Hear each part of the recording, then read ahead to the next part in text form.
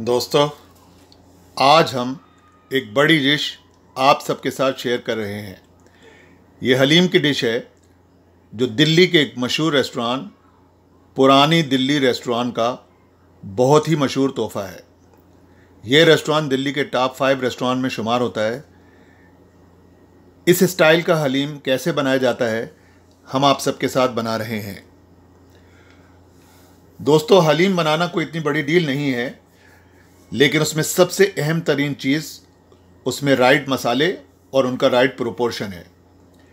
लेकिन उसके अलावा एक बहुत ही अहम तर, तरीन बात जो है वो इसका घोटना है, जो रवायती तरीके से बहुत ही मेहनत तलब है और कई घंटे इसके घोटने में लग जाते हैं।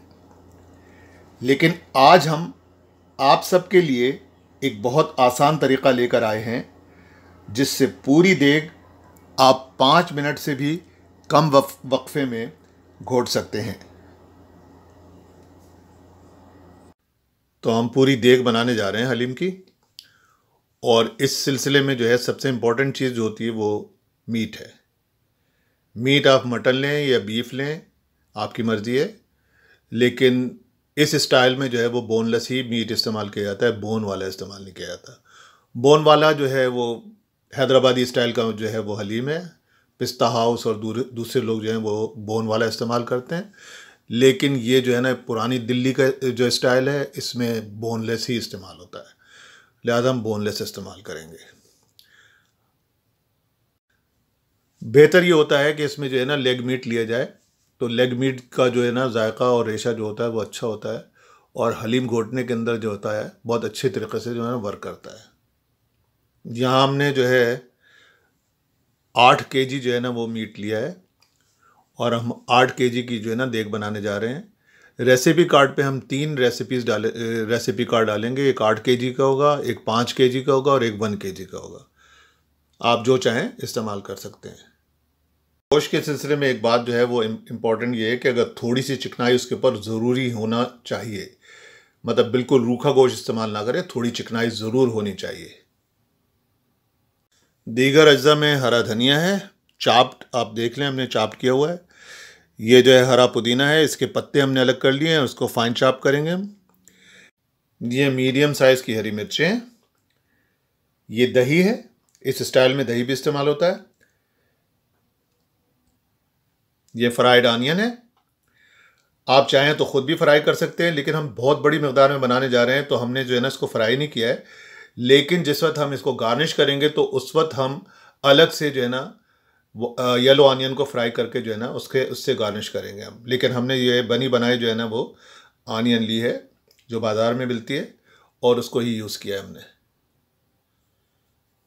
ये करी पत्ता है। इस स्टाइल में इस्तेमाल होता है, ये पुरानी दिल्ली रेस्टोरेंट स्टाइल का जो हलीम है, इसमें ये ज़रूर इस्तेमाल होता है।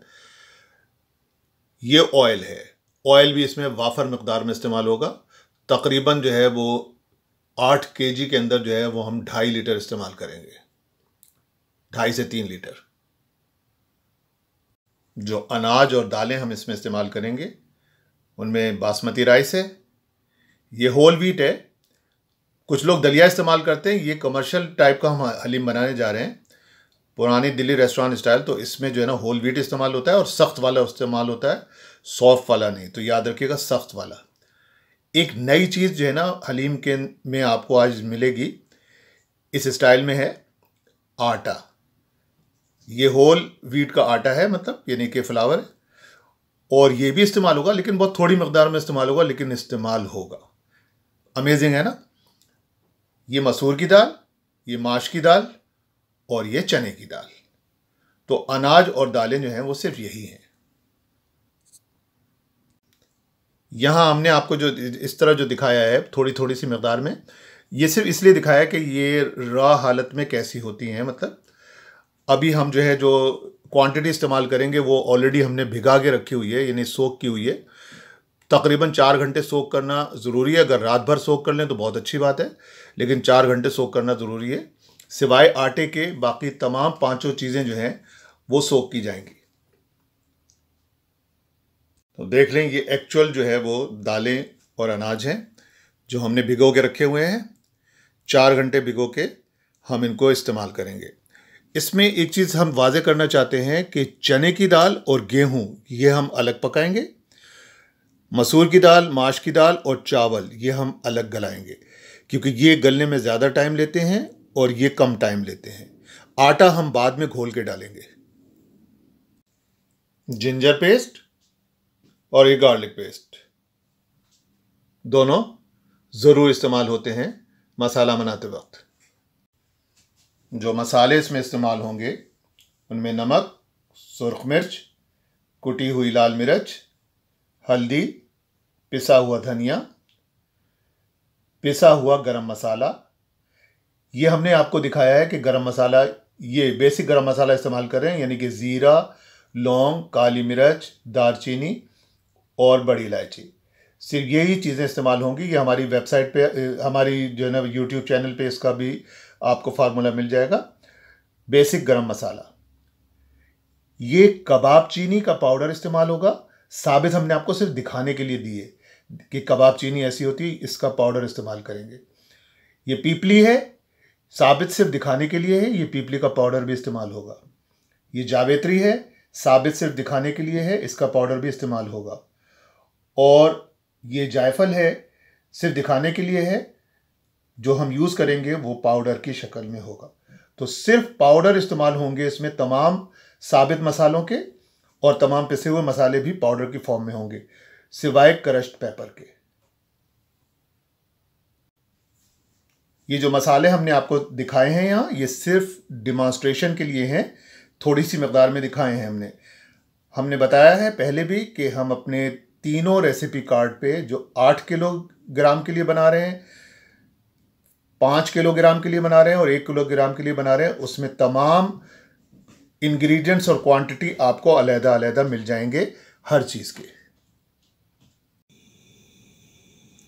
एक देग में हमने ऑयल डाला और इसको थोड़ा सा गर्म करेंगे दरमियानी आँच पे, क्योंकि हमें इसमें लहसुन और अदरक को जो है ना, थोड़ा सा भूनना है।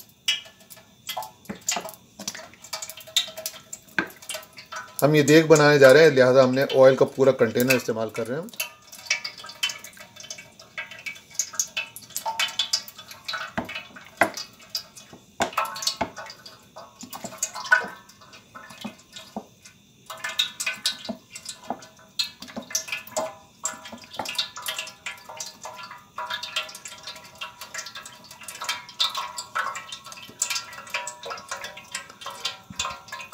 ऑयल को थोड़ा सा गर्म करेंगे हम, और उसके बाद अदरक और लहसुन का पेस्ट मिलाएँगे।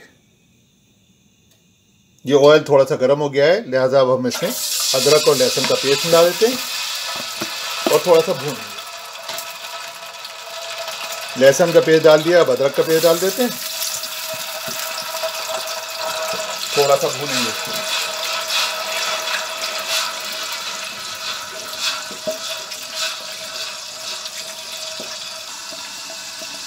ये एक मिनट हमने अदरक और लहसुन को भूना और अब हम जो है दरमियानी साइज़ की जो हरी मिर्चें थी, साबित हमने इसमें डाल दी सारी। और थोड़ा सा इसको जो है वो भूनेंगे इसके साथ।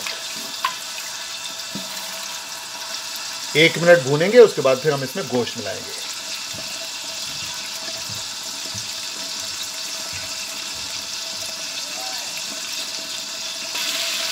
अब हम इसमें गोश्त डालेंगे।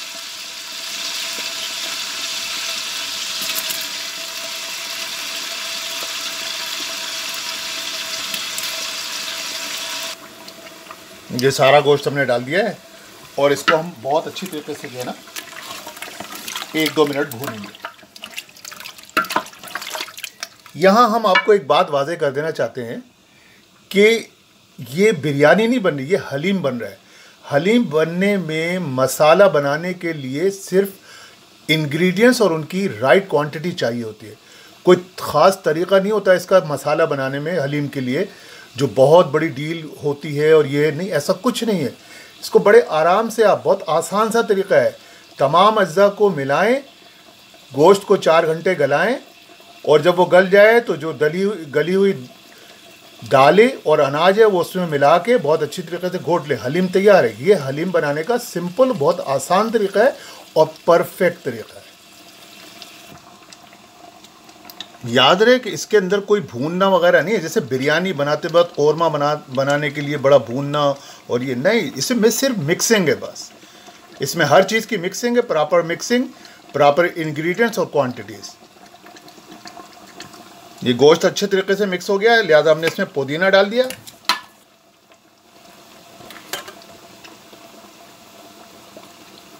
जो फ्राइड आनियन आपको दिखाई थी, वो सारी डाल दी हमने।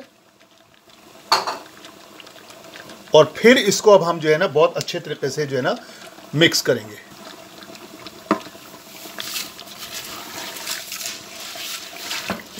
मिक्सिंग मिक्सिंग इंपॉर्टेंट है इसकी। और बाद में चार घंटे तक जो है, तीन चार घंटे तक जो है ना कुकिंग हम हमेशा स्लो कुकिंग को प्रीफर करते हैं। और वैसे भी जब आप देख बनाने जा रहे होते हैं तो प्रेशर कुकर इतने बड़े नहीं होते।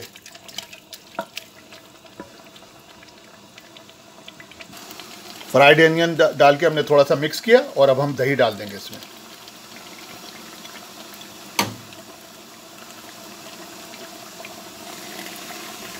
दही डाल के हम इसको थोड़ा सा मिक्स करेंगे।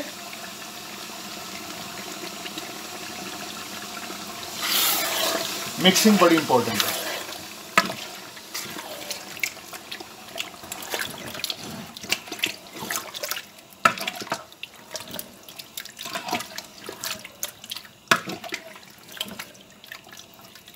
मिक्सिंग जो है वो बहुत इंपॉर्टेंट है। अब हमने करी लीव्स डाल दिए। और अब हरा धनिया डालेंगे। हरा धनिया जो है वो दो मरतबा डालेंगे। आधा अभी डालेंगे। आधा जब जो है कौरमा जो है वो आधा गल जाएगा, फिर डालेंगे। अब बहुत अच्छी तरीके से इनको मिक्स करेंगे। हरा धनिया और करी पत्ता डाल के हम इसको मिक्स कर दें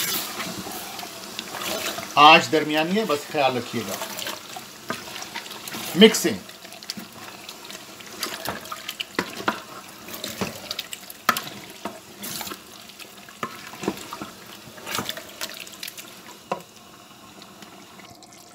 अब हम इसमें मसाले मिलाएँगे।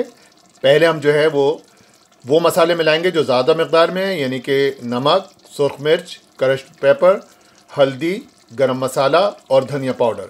सबसे पहले हम ये मिलाते हैं और उसके बाद फिर हम जो है दीगर मसाले मिलाएँगे जो कम मकदार में हमें इस्तेमाल करने हैं। ये देखें, ये मिला दिए और अब हम इनको जो है बहुत अच्छे तरीके से मिक्स करेंगे।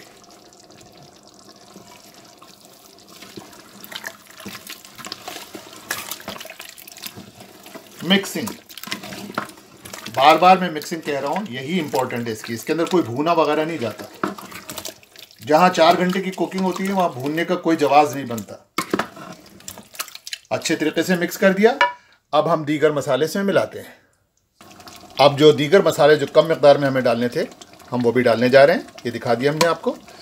डाल दिए और मिक्सिंग स्टार्ट करते हैं। मिक्सिंग स्टार्ट हो रही है। ये फाइनल मिक्सिंग है, इसके बाद पानी डाल के हम इसको गलने के लिए रख देंगे। Slow cooking for three to four hours ये बहुत अच्छे तरीके से मिक्स हो गया है, देख लें आप। अब पानी डालने का वक्त आ गया है। और अब हम इसमें पानी मिलाते हैं। थोड़ा सा मिक्स करेंगे। उबाल आने के बाद इसकी लिड लगा के हल्की आँच पे तीन घंटे तक इसको गलाएँगे। लिड लगा दी। और अब इसको हल्की आँच पे, यानी वन थर्ड फ्लेम पे तकरीबन तीन घंटा पकाएँगे। इस दौरान हम अनाज और दालें, उनको भी गला लेते हैं। ये हमने चने की दाल और गेहूँ, इन दोनों को मिला दिया है। और एक साथ हम जो है ना, इसको गला रहे क्योंकि ये ज़्यादा सख्त होते हैं और ज़्यादा देर लेते हैं गलने में। लिहाजा इनको हम अलग गलाएँगे। और चावल, मसूर की दाल और माश की दाल को अलग गलाएँगे आप चाहें तो एक साथ भी मिला के गला सकते हैं, क्योंकि आखिर में तो सबको मिक्स ही होना है। लेकिन बस, हम इनको अलग अलग बना रहे हैं, कोई ज़रूरी नहीं है। इसमें हम जो है ना, थोड़ा सा नमक मिलाते हैं। उबाल आने के बाद हल्की आँच पे इसको गलाएँगे। नमक मिला के मिक्स कर दिया।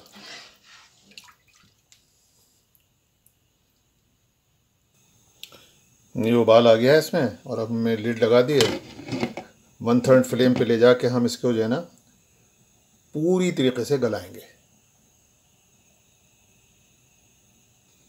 एक दूसरे पतीले में हमने मसूर माश की दाल, मसूर की दाल और ये चावल। ये सब तीनों जो है वो मिला दिए। अब इसमें भी हम जो है नमक मिलाएँगे।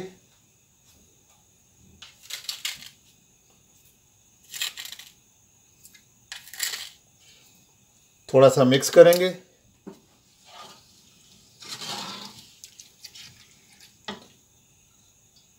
पानी डाल के जो है वो हल्की आँच पे इसको जो है ना पूरी तरह गलाएँगे।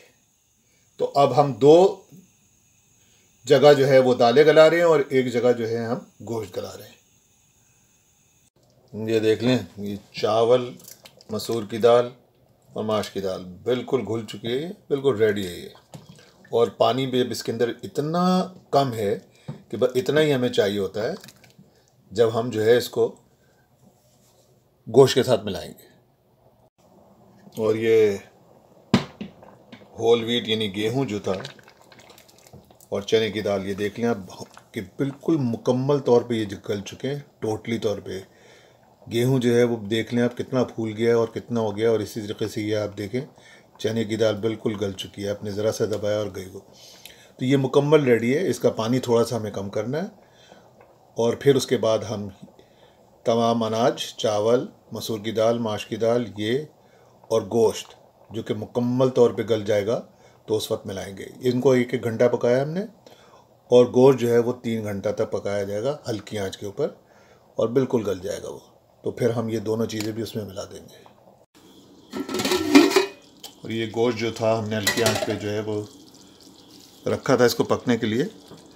और अभी जो है ये आधा गला है। और अब वक्त है कि हम इसमें जो है बकिया हरा धनिया डाल जो बकिया हरा धनिया था, वो हम सारा इसमें डाल देते हैं। ये हमने बकिया हरा धनिया डाल दिया।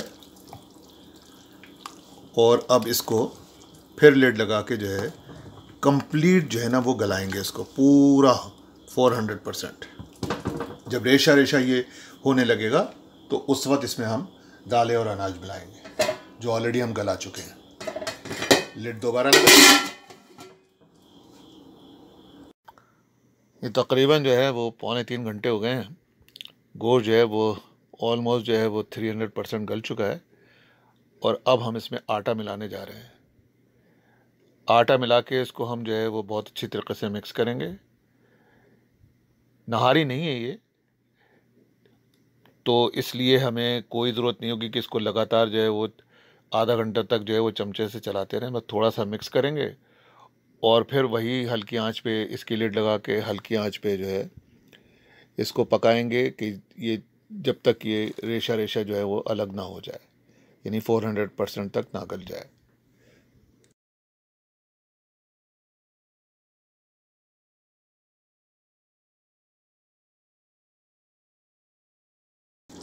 ये देख लें, तकरीबन जो है वो चार घंटे से ज़्यादा हो चुका है।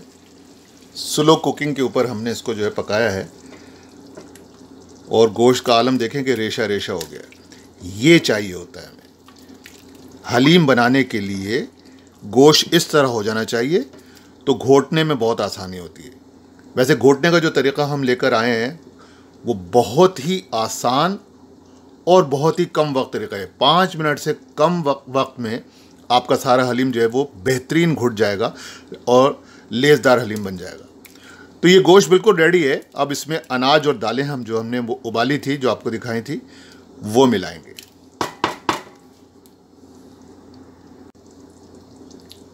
अब हम जो है गेहूँ और चने की दाल मिला रहे हैं, उसके बाद फिर चावल और मसूर की दाल और माश की दाल भी मिलाएँगे।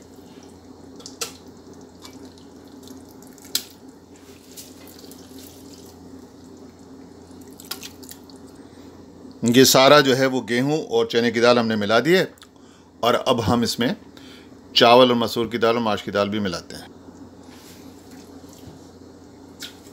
चावल मसूर की दाल और माश की दाल, वो भी हम इसमें मिला रहे हैं।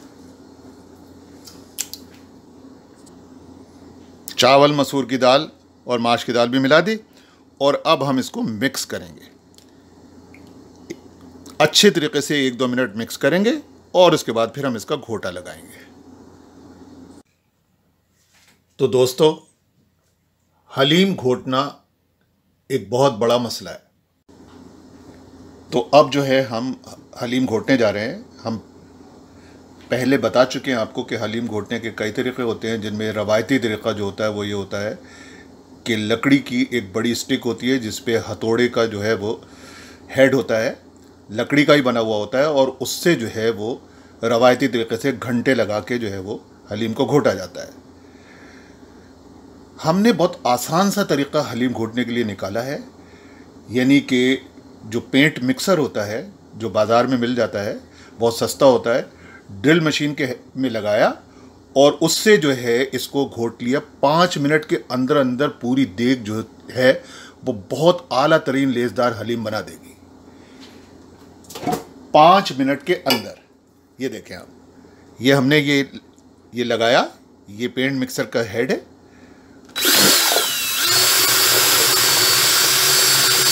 मशीन चला दी हमने।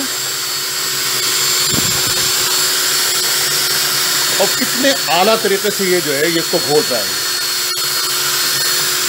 कोई रवायती मिक्सर को घंटों जो है ना घुमाने की ज़रूरत नहीं है।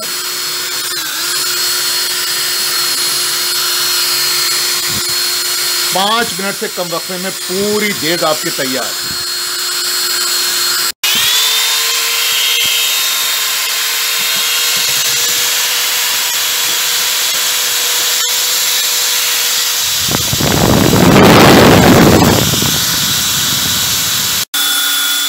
और ये जो है तकरीबन जो है साढ़े चार मिनट हो चुके हैं। हमने जो है थोड़े थोड़े वक्त से जो इसको इस्तेमाल किया है, लेकिन टोटल साढ़े चार मिनट है।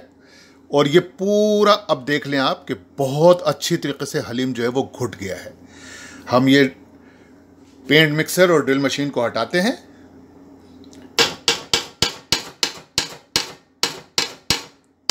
और फिर आपको दिखाते हैं।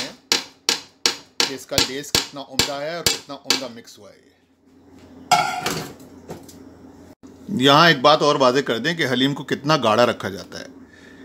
हलीम, ये आइडियल है हलीम का गाढ़ापन। अगर इससे थोड़ा सा पतला और कर सकते हैं आप, चाहें तो बहुत थोड़ा सा पतला, लेकिन इससे ज़्यादा गाढ़ा नहीं किया जाता, क्योंकि हलीम फिर जो है ना, वो चावल की तरह या हलवे की तरह हो जाता है। हलीम को एक ख़ास कंसिस्टेंसी चाहिए होती है और ये देखें, ये वाली कंसिस्टेंसी जो है ना इज़ द बेस्ट यही रेस्टोरेंट जो है, आपको पेश करते हैं। और यही कमर्शियल पैमाने पे जब हलीम बनाया जाता है तो ये कंसिस्टेंसी रखी जाती है। जो लोग ये समझते हैं कि गाढ़ा हलीम कर दिया और उसके अंदर गोश्त के रेशे ज़्यादा ज़्यादा आ रहे हैं तो वो मज़ेदार, वो हलीम नहीं हुआ। उसको आप कुछ और कह लें, लेकिन वो हलीम नहीं हुआ। हलीम की ख़ास कंसिस्टेंसी होती है, ये देखें आप। ये ज़रूरी है। तो देख लें आप, ये कंप्लीट घुट गया है जनाब। पाँच मिनट से कम वक्फे में हमने पेंट मिक्सर से इसको घोट दिया है। और अब इसका जो है ना लेस देखें आप, कित, ये कितना आला लेस जो है ना, ये हलीम का आइडियल लेस होता है। पुरानी दिल्ली रेस्टोरेंट स्टाइल हलीम अब आप घर पे तैयार कर सकते हैं। हमने ये जो है आठ किलो का बनाया है। हमारे रेसिपी कार्ड पे आठ किलो, पाँच किलो और एक किलो तीनों रेसिपीज़ आपको मिल जाएँगी। अब हम इसको जो है फ्राइड आनियन जो कि हमने खुद जो है वो फ्राई की हैं, उससे और लेमन और हरी मिर्च और हरे धनिए से गार्निश करेंगे।